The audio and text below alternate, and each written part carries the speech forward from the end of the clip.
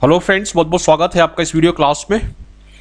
Friends इस video class में हम डिस्कस करेंगे कि किस तरीके से हम क्लोज टेस्ट को एक्यूरेसी के साथ और कम से कम समय में सॉल्व कर सकते हैं एसएससी एग्ज़ाम में और बैंकिंग एग्ज़ाम्स में।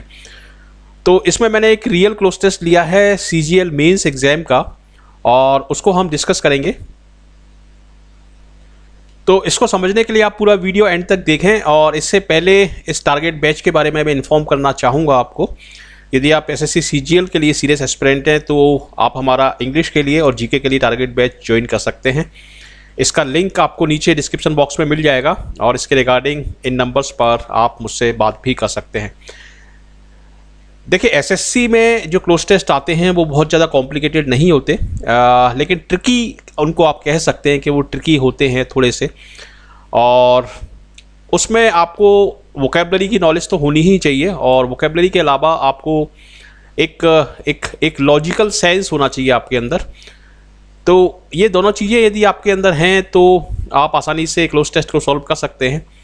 और इसके लिए प्रैक्टिस सबसे ज़्यादा ज़रूरी है। जितनी ज़्यादा आप प्रैक्टिस करेंगे, उतना ही ज़्यादा आप एक्यूरेसी आप अचीव कर पाएँगे। अब देखिए, यहाँ से हम यदि इसको पढ़ें तो पहले सबसे पहले इसको पढ़ना है और एक रफ आइडिया लगाना है कि किस बारे में है ये cloze test man has been the ecosphere for a very time and is force to that the environment resource are environmental problems तो ये पूरा पैसेज जो है, ये इन्वायरमेंटल प्रॉब्लम के बारे में है और जो डिप्लीशन हो रहा है ओजोन लेयर का, जो फॉसल फ्यूल्स का डिप्लीशन हो रहा है, जो रिसोर्सेज हमारे कम होते जा रहे हैं, उसके बारे में है ये पूरा. जैसे यहाँ पर एक वर्ड आया है डिफॉरेस्टेशन ठीक है? तो ये पूरा एनवायरमेंटल प्रॉब्लम्स के बारे में है। तो इसको हम पढ़ते हैं और इसका आंसर हम निकालते हैं man has been the ecosphere for a very अब हम यहाँ पर क्या लगाएँगे? देखिए, चूँकि हाँ यहाँ पर हैज़ भी लगा हुआ है, इसलिए इसमें आपको आईएनजी का एक वर्ड चाहिए। ठीक है? अब यहाँ पर ऑप्शन क्या दिए हैं? Tampering with tampering with tampered with और टेम्पर्ड बाय देखिए टेम्पर जो वर्ड है, इसके दो तीन मीनिंग हैं जो मैं आपको बता रहा हूँ।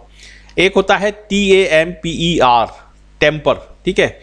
इसका अर्थ होता है छेड़छाड़ करना किसी चीज़ से। जैसे आपने क्रिकेट में बॉल टेम्परिंग के बारे में सुना होगा, ठीक है? जो बॉलर्स होते हैं, वो बॉल टेम्परिंग के आरोप में पकड़े जाते हैं और उनको परेश किया जाता है। तो टेम्पर का अर्थ होता है किसी भी चीज़ से छेड़छाड़ करना फ़िज़िकल फॉर्म में, ठीक है? T A M P E और T E M P E जो होता है, इसका अर्थ होता है, एक तो टेम्परामेंट होता है, किसी व्यक्ति का स्टेट ऑफ़ माइंड होता है, और एक ये केमिकल प्रोसेस में भी हम टेम्परिंग का यूज़ करते हैं, जैसे स्टील जो होता है, उसको हम हार्ड करते हैं, ठंडा करके, गर्म करके फिर ठंडा करते हैं, फिर गर्म करते हैं, इस तरह का एक प्रोसेस होता है। उसको भी हम बोलते हैं टेम्परिंग तो उसकी जो स्पेलिंग है, उसमें डबल ई आता है, एक ई एक ई यहाँ पर आता है और एक ई यहाँ पर आता है।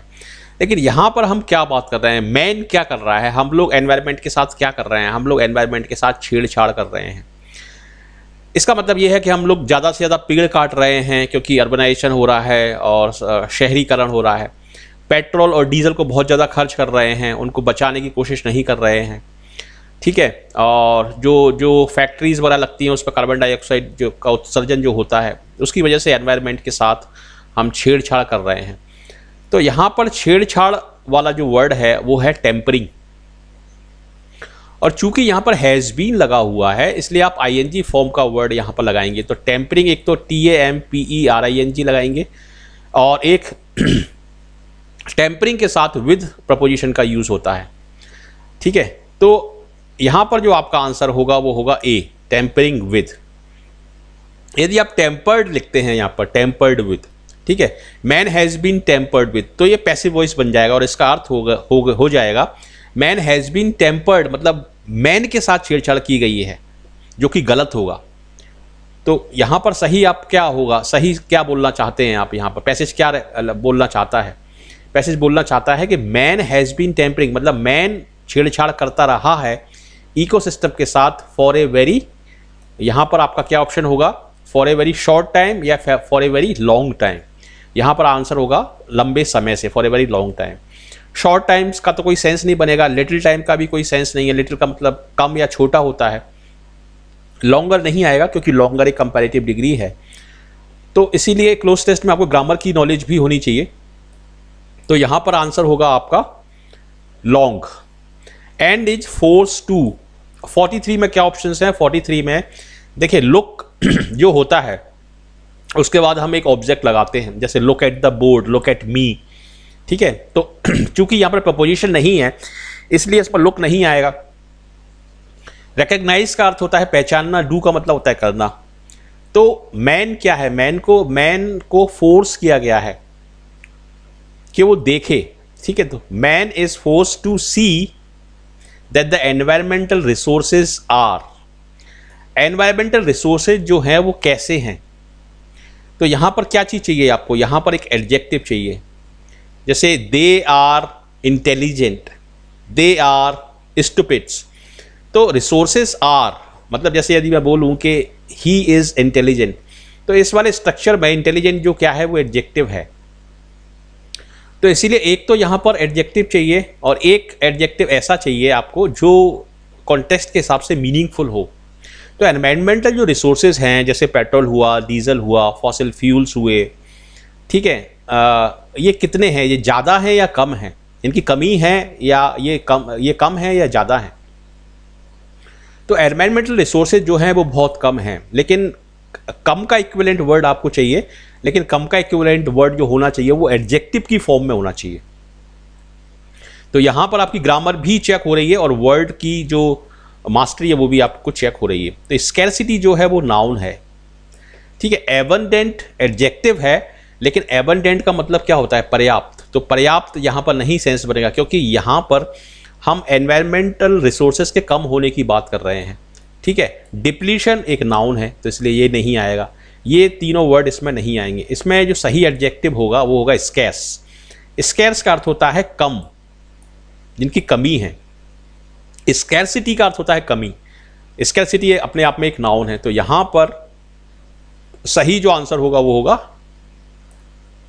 scarce environmental resources are scarce environmental problems are अब देखिए, यहाँ पर क्या ऑप्शन है? रियली बैडली सैडली और हैप्पीली हैप्पीली तो होगा नहीं, क्योंकि एनवायरमेंटल प्रॉब्लम जो है, ये एक प्रॉब्लम है और प्रॉब्लम के साथ हम हैप्पी वर्ड नहीं जोड़ सकते।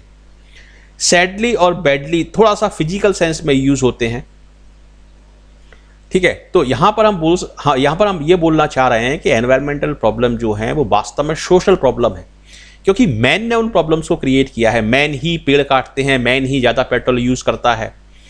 ठीक है? तो environmental problems are social problems because they have been created by men तो they are really social problems हम लोग बोलेंगे they are really social problems यहाँ पर बैडली सोशल प्रॉब्लम्स या सैडली सोशल प्रॉब्लम्स कहना गलत होगा क्योंकि इसका कोई सेंस नहीं बन रहा बैडली सोशल प्रॉब्लम्स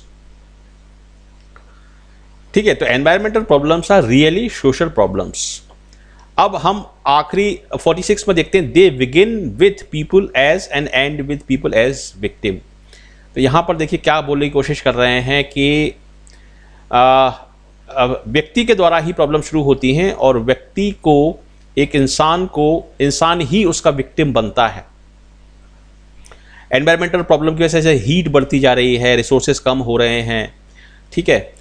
तो यहाँ पर हम क्या बोलेंगे कि they begin with people as and end with people as victim मतलब एनवायरमेंटल प्रॉब्लम का जो कॉज है, वो पीपल है, कारण जो है, वो पीपल है, और पीपल ही अल्टीमेटली उसका विक्टिम बनता है, उसका भुक्त भोगी बनता है। तो यहाँ पर इसका सही आंसर होगा कॉज ठीक है? They begin with people as cause and end with people as victim मतलब जो एनवायरमेंटल प्रॉब्लम है, उसका जो कारण है, वो पीपल है और एंड और पीपल ही उसका भुक्त भोगी है। ठीक है? इफ़ेक्ट और अफेक्ट में क्या अंतर है? अफेक्ट एक वर्ब है और इफ़ेक्ट एक नाउन है।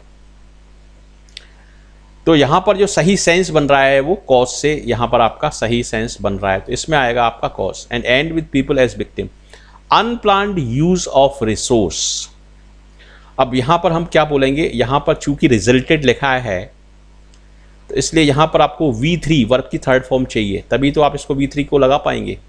क्योंकि हैज़ और हैप के साथ हम वर्ब की थर्ड फॉर्म लगाते हैं। तो यहाँ पर आपको हैज़ या हैप चाहिए। अब चूँकि unplanned use of resource unplanned use एक सिंगुलर सब्जेक्ट है तो इसलिए हैज़ आपका सही आंसर होगा। है प्लूरल है तो नहीं आएगा। हैड पास्ट में आता है तो नहीं आएगा। हैज़ बीन के साथ हम आई फॉर्म लगाते हैं तो वो नहीं आएगा। तो यहाँ पर क्या आएगा? Unplanned use of resource has resulted in the depletion of fossil fuel चूँकि हम रिसोर्सेज का अनप्लान यूज़ करते हैं, इसलिए फॉसिल फ्यूल जो हैं, ठीक है डीजल पेट्रोल और फॉसिल फ्यूल जो हैं, ये डिप्लीट होते जा रहे हैं, ये कम होते जा रहे हैं। ठीक है? क्योंकि पृथ्वी पर इस समय जो पेट्रोल और डीजल है, वो मैक्सिमम पूरी पृथ्वी पर, मैक्सिमम उसकी जो लाइफ है वो है सौ साल, हंड्रेड ईयर्स हंड्रेड ईयर्स के बाद पेट्रोल, डीजल सब कुछ ख़त्म हो जाएगा और ये ख़त्म होता जा रहा है। डिप्लीशन ऑफ़ फॉसिल फ्यूल अब यहाँ पर चूँकि हम डिप्लीशन ऑफ़ फॉसिल फ्यूल की बात कर रहे हैं तो यहाँ पर हम क्या लगाएँगे? एयर एयर का एयर की किस चीज़ की हम बात कर रहे हैं? एयर की हम बात कर रहे हैं यहाँ पर पॉल्यूशन पॉल्यूटेड एडल्ट्रेशन स्टेल तो यहाँ पर हम एयर पॉल्यूशन वर्ड यूज़ करेंगे। एयर पॉल्यूशन कहना सही होगा। पॉल्यूटेड पॉल्यूटेड ऑफ़ एयर यदि हम ऐसे बोलते हैं तो ये कहना गलत होगा। Polluted of air pollution of air हम बोल सकते हैं। एडल्ट्रेशन हम बोलते हैं मिलावट को। और एडल्ट्रेशन जो वर्ड है, ये एयर के साथ नहीं जाता है। स्टेल का अर्थ होता है बासी, जो फ्रेश का उल्टा है। तो यहाँ पर आपका सही जो आंसर होगा that is pollution pollution of air and water pollution of air and water देखिए वाटर का भी ये पॉल्यूशन ही होता है। Deforestation which has resulted in deforestation की वजह से फॉसल फ्यूल के डिप्लीशन की वजह से किस चीज़ का इम्बैलेंस क्रिएट हुआ है? इकोलॉजी का इम्बैलेंस क्रिएट हुआ है, लेकिन इकोलॉजी एक सब्जेक्ट का नाम है। इम्बेलेंस को हम बोलेंगे इकोलॉजिकल बैलेंस तो यहाँ पर आंसर होगा आपका ecological imbalance and draining away of national wealth national wealth को हम ड्रेन कर रहे हैं, उसको ख़त्म कर रहे हैं, उसको निचोड़ रहे हैं। ठीक है? किस मीडियम के द्वारा निचोड़ रहे हैं हम? Heavy expenditure on oil and power generation जो ऑयल और पावर जनरेशन की वजह से जो हैवी एक्सपेंडिचर हो रहा है, उस मीडियम की वजह से नेशनल वेल्थ हमारा डिप्लीट होता जा रहा है। और जब हम मीडियम के थ्रू किसी चीज़ को करना बताते हैं तो उसके लिए हम वर्ड लगाते हैं थ्रू उसके लिए हम बाय नहीं लगाते। बाय एजेंट के लिए आता है जिसके द्वारा कोई काम किया जाता है। तो यहाँ पर हैवी एक्सपेंडिचर और पावर जनरेशन के द्वारा कोई काम नहीं किया जा रहा। इन मीडियम्स के थ्रू नेशनल वेल्थ का डिप्लीशन होता है। तो इसलिए यहाँ पर आपका थ्रू कहना आपका सही होगा। एक थोरो दिया है इसमें। थोरो का मतलब होता है पूरा या कंप्लीट तो वो तो मीनिंगलेस है। यहाँ पे थ्रू कहना आपका सही आंसर होगा। तो इस तरीके से यदि आप क्लोज टेस्ट तो करते हैं एसएससी और बैंकिंग एग्ज़ाम्स में हालाँकि बैंकिंग एग्ज़ाम का पैटर्न थोड़ा अलग होता है एसएससी एग्ज़ाम में छोटे क्लोज टेस्ट आते हैं लेकिन थोड़े से ट्रिकी होते हैं वो और सारे वर्ड्स की मीनिंग आपको अच्छे तरीके से याद आ, याद होना चाहिए ग्रामेटिकल कॉन्सेप्ट आपके क्लियर होने चाहिए पर्टिकुलरली प्रपोजिशंस आपके क्लियर होने चाहिए किस वर्ड के साथ कौन सा वर्ड आएगा। जैसे यहाँ पर मैंने आपको बताया कि मीडियम को बताने के लिए थ्रू हम लगाते हैं। यहाँ पर मैंने बताया कि टेम्परिंग के बाद हम विद लगाएँगे। ठीक है, कौन सा वर्ड एडजेक्टिव है, कौन सा वर्ड नाउन है, ये पार्ट ऑफ़ स्पीच की भी आपको अच्छी नॉलेज होनी चाहिए। तो ये सारी चीज़ें कलेक्टिवली क्लोज टेस्ट में चेक होती हैं आपकी। तो इसलिए क्लोज टेस्ट एक बहुत ही अच्छा टूल है स्टूडेंट्स की प्रोफिशिएंसी इंग्लिश प्रोफिशिएंसी को चेक करने के लिए। यदि आप एसएससी सीजीएल के लिए इंग्लिश का और जीके का प्रोफेशनल गाइडेंस लेना चाहते हैं तो उसके लिए टारगेट बैच हमारा चल रहा है। इसको आप 30 जुलाई 2018 तक ज्वाइन कर सकते हैं।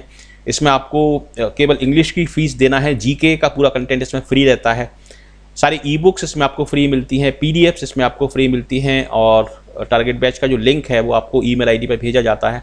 वहाँ पर आप सारे वीडियो चला के आप देख सकते हैं वीडियो क्लासेस के फॉर्म में। इसको आप मोबाइल पे भी चला सकते हैं। तो यदि आप ज्वाइन करना चाहते हैं तो इसका लिंक आपको नीचे डिस्क्रिप्शन बॉक्स में मिल जाएगा और इसके रिगार्डिंग आप मुझसे बात भी कर सकते हैं। और पेटीएम के थ्रू भी इस कोर्स को आप ज्वाइन कर सकते हैं। तो कैसा लगा आपको ये वीडियो क्लास यदि अच्छा लगा तो इसको लाइक करें और शेयर करें और इस चैनल को आप ज़रूर ज़रूर सब्सक्राइब करें। इस चैनल का नाम है इंग्लिश एडवांटेज यूट्यूब चैनल और जब आप सब्सक्राइब करते हैं तो बेल का आइकॉन भी आप ज़रूर दबाएँ, तभी आपको सारे नोटिफिकेशंस इसमें आपको टाइम पर मिलेंगे।